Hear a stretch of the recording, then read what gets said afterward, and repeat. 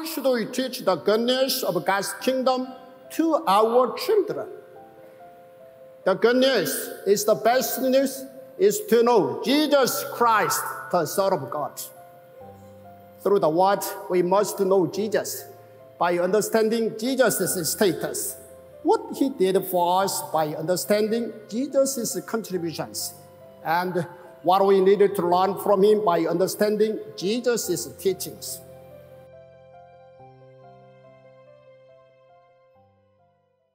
오늘도 성경을 열면 기적이 열립니다. 모든 성경 이야기에는 첫째 하나님의 법, 둘째 하나님의 긍휼, 셋째 하나님의 기적이 들어있습니다. 1년 1독 통독 성경 오늘 범위는 유다서 1장입니다. 유다서는 예수님의 육신의 동생 유다 사도가 쓴 편지입니다. 유다서는 당시 기독교를 향한 로마 제국의 극심한 박해로 인해 배교하는 성도들이 생겨나자 그 영적 싸움의 현장에서 어떻게 믿음을 굳게 지킬 수 있는지를 교훈하는 편지입니다. 자 이제 오늘의 말씀 유다서 1장을 먼저 읽겠습니다.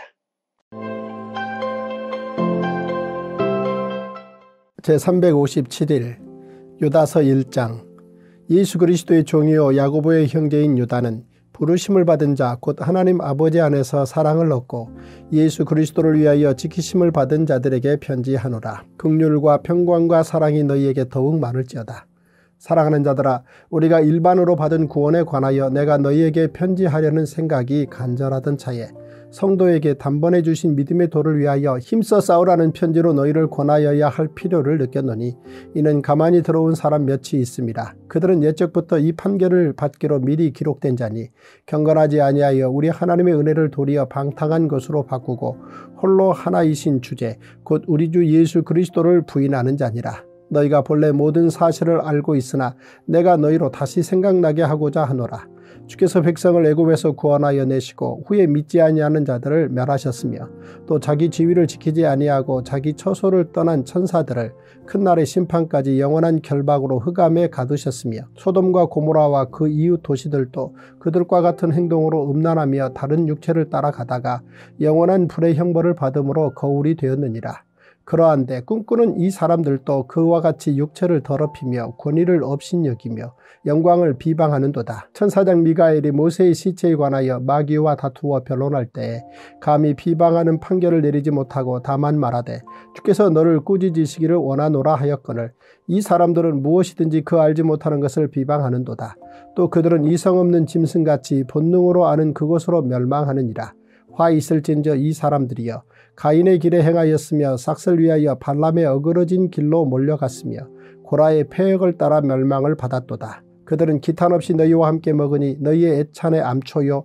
자기 몸만 기르는 목자요. 바람에 불려가는 물 없는 구름이요. 죽고 또 죽어 뿌리까지 뽑힌 열매 없는 가을나무요. 자기 수치의 거품을 뿜는 바다의 거친 물결이요. 영원히 예비된 캄캄한 흑암으로 돌아갈 유리하는 별들이라. 아담의 칠대 손 에녹이 이 사람들에 대하여도 예언하여 이르되 보라 주께서 그 수만의 거룩한 자와 함께 임하셨나니 이는 무사람을 심판하사 모든 경건하지 않은 자가 경건하지 않게 행한 모든 경건하지 않은 일과 또 경건하지 않은 죄인들이 주를 거슬러 한 모든 완악한 말로 말미암아 그들을 정죄하려 하심이라 하였느니라. 이 사람들은 원망하는 자며 불만을 토하는 자며 그 정욕대로 행하는 자라. 그 입으로 자랑하는 말을 하며 이익을 위하여 아첨하느니라. 사랑하는 자들아 너희는 우리 주 예수 그리스도의 사도들이 미리 한 말을 기억하라. 그들이 너희에게 말하기를 마지막 때에 자기의 경건하지 않은 정욕도로 행하며 조롱하는 자들이 있으리라 하였나니 이 사람들은 분열을 일으키는 자며 육에 속한 자며 성령이 없는 자니라. 사랑하는 자들아 너희는 너희의 지극히 거룩한 믿음 위에 자신을 세우며 성령으로 기도하며 하나님의 사랑 안에서 자신을 지키며 영성에 이르도록 우리 주 예수 그리스도의 긍휼을 기다리라. 어떤 의심하는 자들을 극률이 여기라. 또 어떤 자를 불에서 끌어내어 구원하라. 또 어떤 자를 그 육체로 더럽힌 옷까지도 미워하되 두려움으로 극률이 여기라. 능히 너희를 보호하사 거침이 없게 하시고 너희로 그 영광 앞에 흠이 없이 기쁨으로 서게 하실리 곧 우리 구주 홀로 하나이신 하나님께 우리 주 예수 그리스도로 말미암아 영광과 위엄과 권력과 권세가 영원 전부터 이제와 영원토록 있을지어다. 아멘.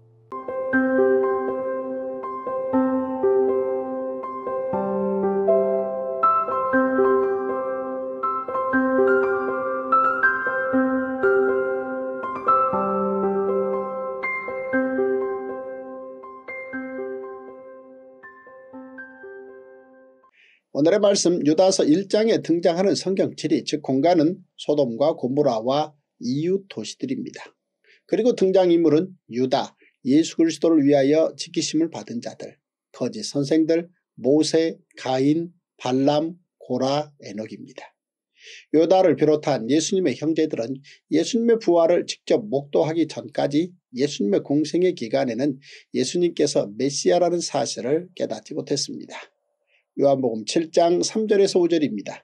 그 형제들이 예수께 이르되 당신이 행하는 일을 제자들도 보게 여기를 떠나 유대로 가소서 스스로 나타나기를 구하면서 묻혀서 일하는 사람이 없나니 이 일을 행하려 하거든 자신을 세상에 나타내소서 하니 이는 그 형제들까지도 예수를 믿지 아니함이러라. 예수님의 육신의 형제들은 부활하신 예수님을 만난 이후 오순절 때에는 예수님의 제자들과 함께 마가의 다락방에서 성령 강림을 소망하는 성도들이 됩니다. 더 나아가 예수님의 육신의 동생 야고보는 초기 교회 지도자가 되어 사내들인 공회와 헤롯의 박해로 인해 스테반과 예수님의 제자 야고보가 순교하는 그 와중에도 끝까지 예루살렘 교회를 지키며 교회를 든든히 세워가는 사도가 됩니다. 이렇게 예수님의 동생이자 초기 교회 복음 1세대 지도자이었던 야고보와 유다는 각각 야고보서와 유다서를 기록하며 하나님의 몸된 교회를 든든히 세운 귀한 하나님의 사람들로 성경에 기록되어 있습니다. 유다는 당시 어려운 상황 가운데에도 복음을 지키며 고군분투하고 있던 복음 2세대들에게 극률, 평강, 사랑이 가득하기를 기도합니다. 그리고 성도들에게 구원에 관한 진리를 가르치기 위해 편지를 쓰려던 계획을 하고 있었습니다. 그런데 교회에 침투한 이단들이 있다는 소식을 듣고 믿음의 도를 위해 힘써 싸우라는 권면을 더 강조하며 편지를 쓰고 있다고 유다는 밝힙니다.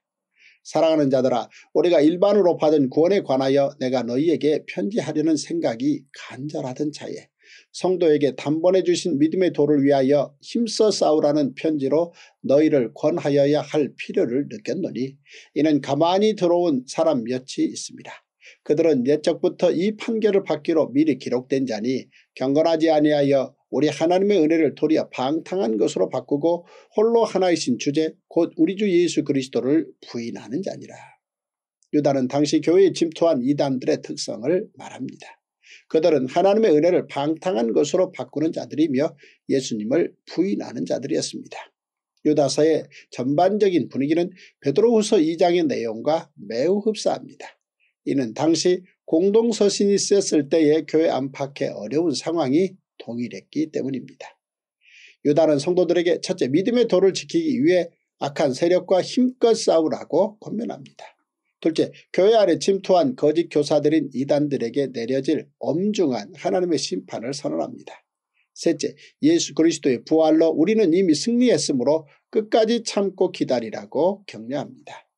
유다는 이단들이 하나님의 심판을 받을 것이라는 증거를 구약 성경에서 인용하여 다음과 같이 가르칩니다. 첫째, 하나님께서 애굽에서 구원하신 이스라엘 백성 곧 출애굽 세대는 여우수아와 갈렙을 제외하고 그들의 믿음 없음으로 인해 광야에서 모두 멸망했습니다. 둘째 하나님께서는 자신의 지위를 지키지 않은 천사들의 교만을 심판하셨습니다. 셋째 하나님께서는 음란한 도시였던 소돔과 고모라를 멸망시키셨습니다. 요단은 꿈꾸듯 허황된 것을 말하며 성도들을 미혹하는 이단들은 이렇게 하나님의 심판을 면할 수 없다고 선언합니다. 유다는 계속해서 이단들은 가인, 발람 그리고 고라의 폐역과 같은 죄를 저지르고 있다고 지적합니다. 화 있을진저 이 사람들이여 가인의 길에 행하였으며 싹을 위하여 발람의 어그러진 길로 몰려갔으며 고라의 폐역을 따라 멸망을 받았도다. 이처럼 유다는 교회에서 거짓 가르침으로 미혹하는 이단들에게 화가 있을 것을 선포합니다. 그러면서 계속해서 성도들에게 예수 그리스도의 사도들이 했던 말들을 기억하므로 이러한 거짓 선생들을 따라 잘못된 길로 틀어서지 말라고 권면합니다. 유다는 애찬에 기탄 없이 참석하여 함께 먹는 이단들의 악함을 여러 비유를 들어 지적합니다. 또한 거짓 선지자들의 화려한 겉모습과 미혹하는 말을 가지고 사람들을 이끌지만 실상 그들의 모습은 허망한 존재이자 멸망할 존재일 뿐이라고 말합니다.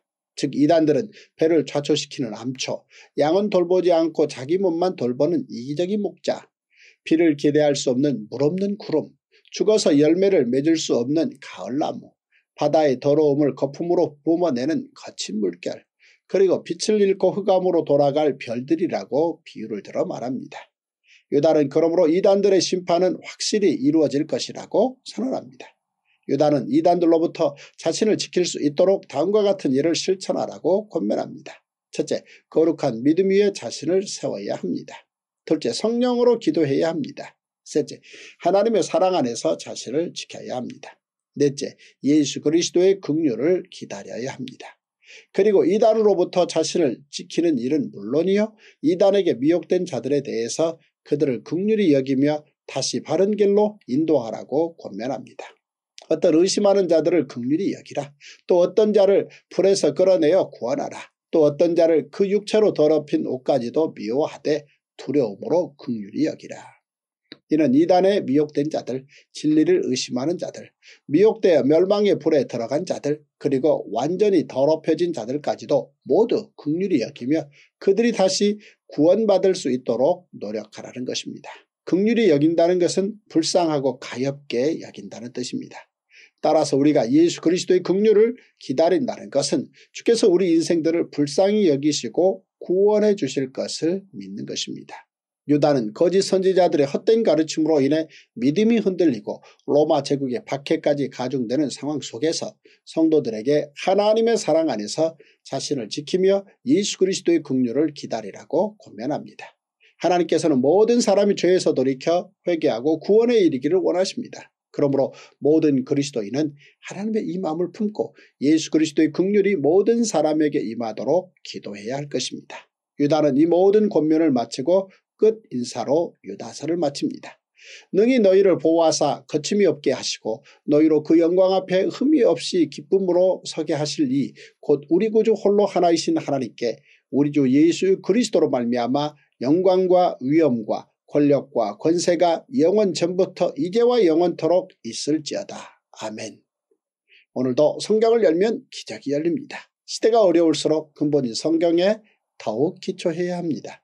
가까운 소중하신 한 분과 오늘 이 이야기를 꼭 공유해 주시고 구독과 좋아요 눌러주십시오. 성경 한 권이면 충분합니다. 와우!